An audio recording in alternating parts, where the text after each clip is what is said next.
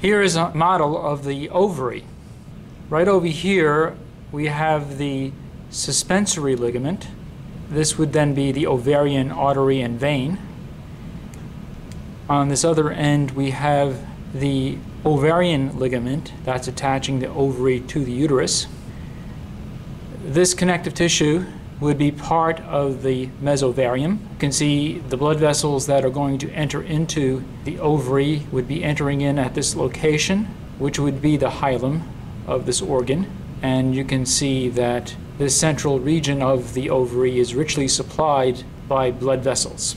Then we have the outer part of the ovary being covered by an epithelium, which should be similar to the epithelium that covers other organs in the abdominal pelvic cavity. In other words, simple squamous epithelium is part of the visceral peritoneum. But if we look closer, we discover that it's different because the epithelium, rather than being simple squamous, as you would expect, is actually simple cuboidal. This epithelium is referred to as germinal epithelium. And it is called germinal epithelium because of a mistake. It was thought that the germ cells originate, the cells that become the oocytes originate from this epithelium. And that's the reason that this epithelium has been called germinal epithelium, but that is incorrect.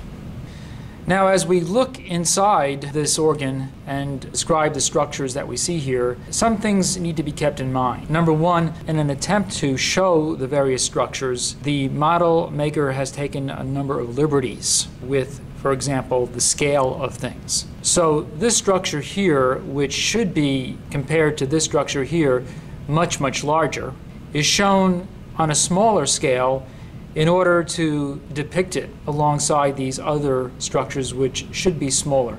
So the relative scale of these various structures is distorted. So keep that in mind as we describe these structures. This, for example, this should be a cell that's much larger than the cell we're going to describe over here, but it happens to be much smaller in order to make it visible in this model. So we're going to start off by talking about the various stages that you're going to find of these cells within the ovaries.